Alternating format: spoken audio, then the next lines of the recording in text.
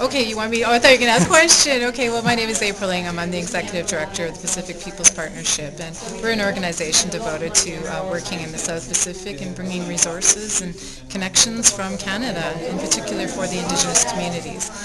Um, today I had the opportunity to learn about podcasting, and this was an amazing experience because it um, allowed me the opportunity to see the importance of people's stories and how to tell that um, through the internet in an easy and affordable way. So in one little workshop I learned a tremendous amount, and in fact my first post is up, and there was 26 hits. Yes. Yes, scary stuff.